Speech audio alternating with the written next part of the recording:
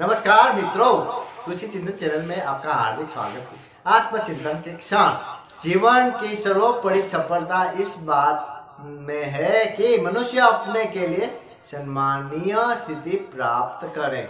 संसार से धनिक निर्भर विद्वान, मूर्ख, धनवान, सभी को एक दिन जाना पड़ता है। वह जो कुछ धन, दौलत, वैभव, विभूति, सुख, दुख उपार्जित करता है सब यही इसी संसार में छूट जाता है।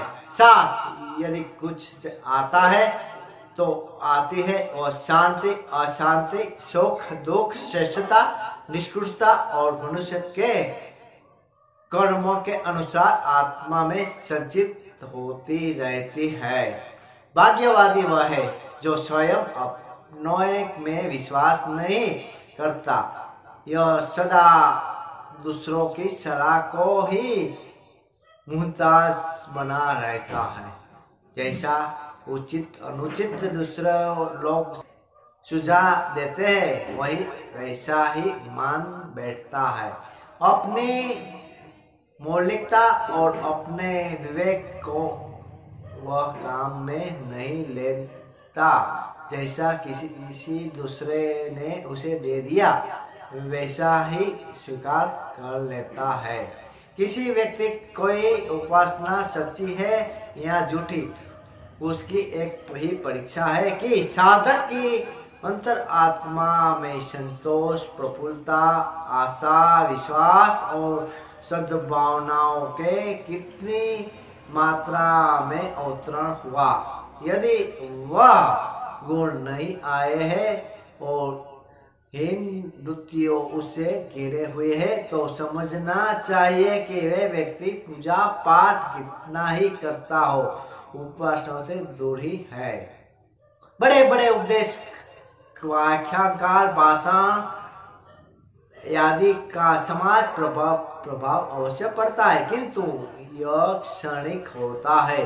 किसी भी भावी क्रांति सुधार रचनात्मक कार्यक्रम में के लिए प्रारंभ ने विचार ही देने पड़ते हैं। किंतु सक्रियता और व्यवहार का संस्मरण प्रत्यय बिना उसका स्थायी और मूर्त रूप नहीं देखा जा सकता। पंडित श्री राम शर्मा आचार्य।